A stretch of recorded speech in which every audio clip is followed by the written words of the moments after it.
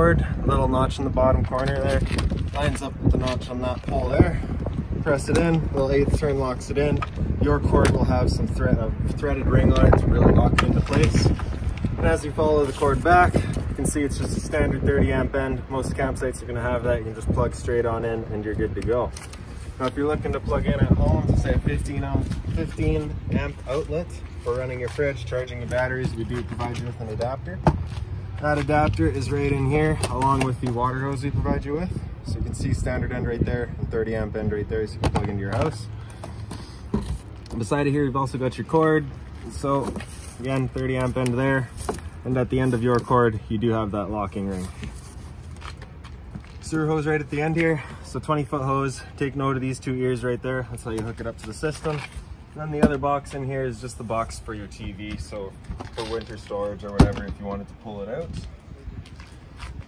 And so right down here, your sewer cap, just turn that off, pull it back, and there you go. So those same ears there hold the cap on. And you're gonna install your hose the same way, just onto there, lock it into place, and there you go.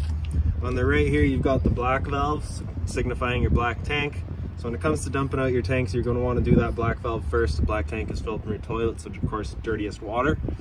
Beside it here, we've got the gray. So gray is filled from your sinks as well as your shower, so generally cleaner water. So once the black's done, then you'll open up that gray as you're dumping it all out. Over time, you may go to dump out your black uh, tank and it's just not gonna read properly at the monitor panel. So what you'll do is you'll just take your water hose and plug it into there, open up that black valve, turn on this black tank flush, and that'll just clean out that tank for you and give you better, more accurate reading. And moving down again. So you're in the ground here, you just got your fresh tank empty. So as you open up that gate valve, it just dumps out your fresh water tank. we'll dump that right out for you.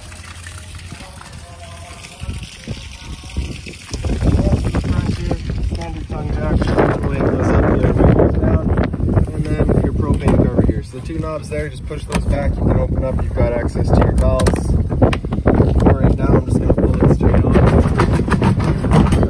And we can show you, you've got your changeover right here. So you can see that's currently green, just letting you know that propane is in the system and ready to go. If it were to go red, it's letting you know that this tank's now empty, no more propane there. I'm just gonna take it over, switch it over. So that bad arrow right there is pointing over to the tank that you're drawing off. Right back here in this little black box is your battery. So as long as you're plugged into that short cord, that battery is charging for you. On the side, you can see you've got your front patio door here. We'll get there in a minute. Your hot water tank right here. So this keyway, just line that up, pops open, pull it up and it's out of your way. Before you ever turn it on, the controls are just inside, but before you turn it on, you want to hit that relief valve right there, make sure that bit of water comes out. That bit of water coming out just letting you know that it is full and it is safe to fire it up. Bottom left corner is your electric uh, switch there, so just turn that on, turns on the hot water tank with electricity. Propane is just inside, and I'll explain the reset procedure once we're in there, but the reset button is just this one on the right right there. line up those two holes in the pins, put it back in place, and there you go.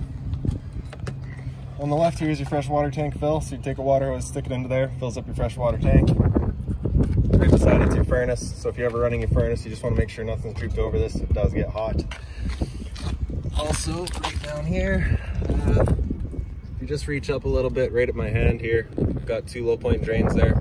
So one's blue, one's red. Blue's of course cold, red is hot. So if you're looking to drain out the water from the trailer, just open up those valves and dump out all the water.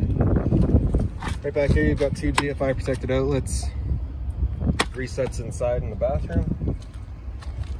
Moving our way on back, we've got an outside shower here. So if the dog's out getting muddy, you can spray them off. Hot and cold water, three foot hose, standard head. You will get one of these little keys here. This little 751. And then in the very back, So you take a water hose, plug it into there, turn on the water, pressurize the lines throughout the trailer. And in the center here, we've got cable on the left, satellite on the right. So just a coax cable, plug it into there, fire up at your TV location. Now when entering the trailer, you of course will have keys for both the rear and the front door. I've only got keys for the rear door, so we're gonna enter back here. Both sets of stairs are just the same. You grab that first handle and the second handle, just both flip over. As you open up your door, you can see in the back you've got this little T-latch. Just holds it open, especially on days like today where it's kind of windy. And we'll come on inside. This unit does have two uh, switches for its slide outs. However, the slide outs are both linked in together hydraulically. So as we press out, slides will make their way out.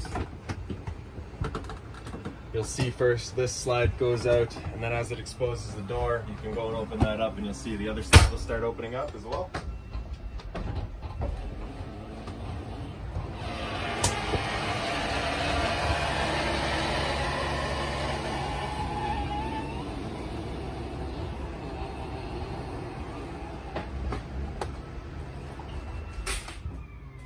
As hydraulic slides, you're not really gonna hear a click from any electric motors. You just kind of hear the whine of that motor.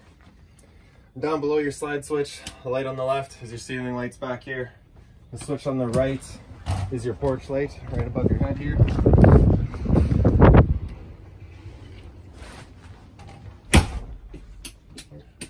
And then back here, of course all the drawers are just storage on storage. The bed also does pick up exposing your uh, storage compartment there. In the back by your heads, you do have the 120 volt outlet as well as USB charging ports and more storage the top. These lights here just on their own little switch. The one in the center is on its own center push button and the same light in the right there. Closet here, so all the closet space with the hanger up top. And then of course more drawers along the bottom. Right down to the wall here, you just press that top and center. We've got your converter here. So all of your breakers in the center, whenever a breaker breaks, it'll sit in the middle, so just turn it off and then back on.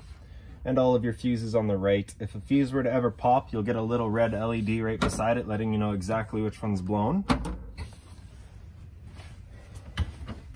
Into the hallway, the switch here is just your hallway light come into the bathroom. So right on the wall here, the light on the left is your ceiling light. The light on the right is kind of your vanity as well as your uh, roof vent here. So just take that knob, turn to open. And if you want that fan off, you also got the switch in the corner as well. Toilet's just got the little foot pedal to the right with more storage space in here. We do provide you with the toilet paper holder. We do not mount it just because personal preference. The shower here with the deluxe shower head. So you get the five interchangeable modes. Otherwise, right down beneath your vanity here is your water pump and your winterization setup. So not too much storage underneath the sink, however it is right behind you. And the GFI reset like we were talking about earlier, so test on the bottom, reset on top, so if you ever have an outlet that doesn't work, it's a good thing to come and check right here. And in the hallway down on the floor here, you just got your vacuum. So you open that up, stick your hose into there, power button on the bottom, and clean up thermostat up here as well. So on the bottom is your mode and power. So just click that, and it'll cycle through. So of course, first we got the fan speed at low, which will turn on your air conditioning fan just on the low speed. And then of course high. After fan, it'll go into cool with the high fan or cool into low with fan or in auto, in which case it'll cycle on and off between running the fan or not based on your temperature. Arrows here, just selecting your temperature is of course in Fahrenheit so hit that again, you can go into heat, and that'll of course turn off your air conditioning fan and turn on your furnace. There we go. So your furnace is moving all of its air through the floor ducting. The air conditioner, basically two separate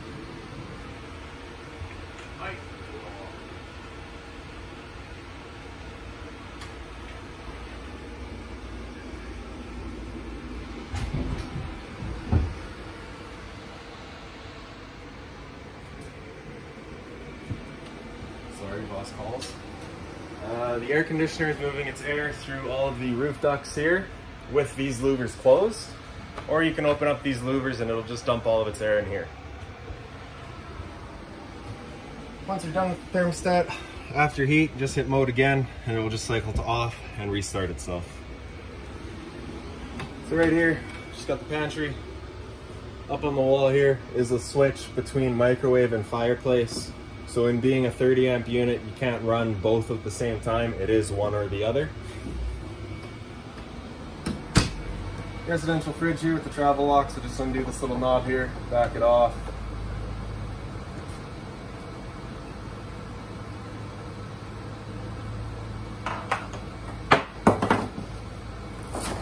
Open it up, there you go. Freezer top as well.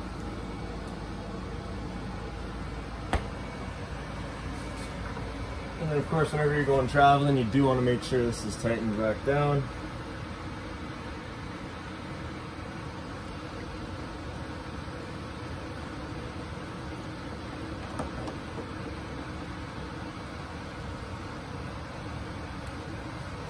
So we'll just come right around the corner here by your front patio door. You can see you've got your monitor panel here. So again, slide out, both linked together, press out here, no difference, it's the same, same switch basically. bottom center is your ceiling lights all across the living room here. And on the left there's outside speaker, turns on a little blue LED at your outside speakers. The one on the right here is your awning light and the hot wa the water heater. So as I was saying, turn that on, you'll get that fault light right there. It comes on as you first turn on that switch, just to let you know that it is going to be turning on. Once it turns off, the ignition sequence has started. And if that light were to come back on afterwards, it's letting you know that it hasn't fired up. At that point, you'll be going and using that reset button that I was showing you earlier. So you can see that light's gone out. We had one click and that hot water heater's going now. And then on the very left there is your water pump. So turn that on, turns on the water pump, draws out of the fresh tank, pressurizes the water lines. And then up at the top here, it's your systems monitor. So it tells you your battery charge level. So all the way up like that is of course charging. Two thirds would be good, a third would be fair, and E is low. Tells you your fresh tank level. So as you filled it up, you'd go to third, two thirds, and full. Same idea for your black one. You do have the black two button here. However, there is only one black tank in this unit. You also got the gray and your galley, but there is just the gray in this unit. Work all, all on the same idea as you fill them up to go to third, two thirds full. So this switch right on the wall there, if you turn that on, is your fan right above your head here. So this little switch right there, just direction down or up. And then this little pull string there is just your speed. So on the vanity right here, the light switch on the left gives you your little footlights. The one on the right is the lights above your slides here. Also got a light right above your sink. More storage, of course. And then for your microwave, it is fairly well just a standard household type microwave, just bigger. And it does also have the addition of the light at the bottom as your stove light. And it's also got the vent here for your stove as well. So two speeds for it, two and one, and then off. Same idea for your lights, full, half, and off. For your stove, it's just got the bifold cover. Just flip that back. Turn the knobs over to the little flame and hit the sparker she fires right up. Now the first time using it after a little while where you haven't been camping or using the trailer, it may take a little second just to clear out the air from the system before it fires up, but it will fire up. So for the stove, just open it up, turn it over to the little flame, hit the sparker, and there she goes. You're just gonna hold that knob in for another couple seconds, and then you can release it and it'll hold itself. Then you can select your temperature and she'll come up to that temperature for you. Once you're done, bring it back down to the pilot and it'll hold the pilot light for you. However, if you're leaving the trailer for a while or going traveling, you wanna make sure that's right off. To the side here, so one, having it up, you just get the knobs there. Having it to the bottom, you get the stove light as well as the knobs.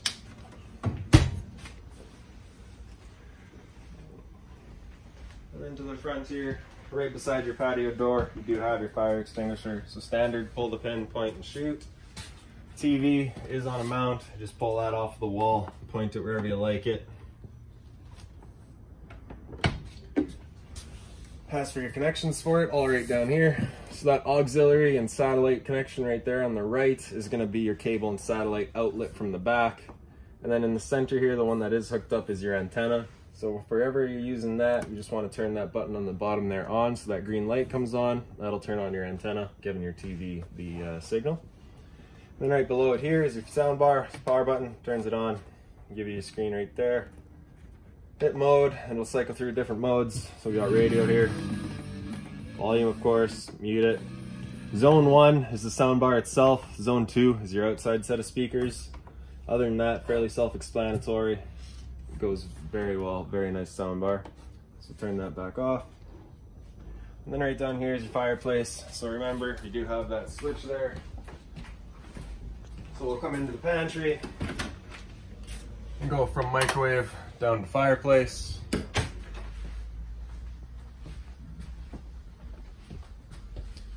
Then we can hit the power button on the right, turns it on. You set your timer, 30 minutes all the way up to I believe nine hours, five hours. And then center left here is your flame color, so you can have that blue, red, or orange. And then on the left is your temperature. So high, low, or off. That's that. Once you're done, press the power button. All good.